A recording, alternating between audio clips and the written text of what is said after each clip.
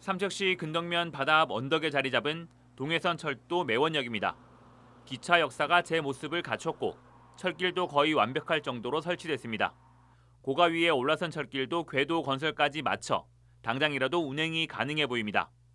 동해선 구간 가운데 1단계 구간인 포항에서 영덕 구간은 이미 2018년에 개통했고 2단계 구간인 영덕에서 삼척까지 122km는 연말까지 공정률이 90%에 이를 것으로 보입니다. 이 구간의 당초 개통 목표는 2020년. 그런데 차일피일 미뤄지면서 내년까지로 연기돼 4년이 미뤄졌습니다. 그런데 국토교통부가 최근 고시를 통해 2024년 12월 30일로 사업 시행 기간을 1년 연장한 것으로 확인됐습니다. 처음 단선 비전철 사업으로 진행하다 동해까지 묶어 전철화 사업을 동시에 진행하다 보니 사업 시행 기간이 또 연장된 겁니다. 전철화 사업이 시동 준공이 24년도예요. 네. 포항동의 전철화 사업하고 연계해서 개통하기 위해서 연장한 겁니다. 점검과 시험 운행 등을 거치면 개통은 2025년까지 미뤄질 수밖에 없습니다.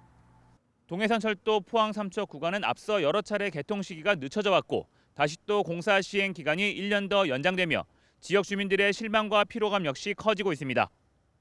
수도권과 강원 남부권을 잇는 동서 육축 고속도로의 예비 타당성 조사 포함도 처음 계획보다 많이 늦어진 데다 동해안과 영남권을 잇는 동해선도 차일피일 개통이 미뤄지면서 지역 주민들은 소외감을 느끼고 있습니다.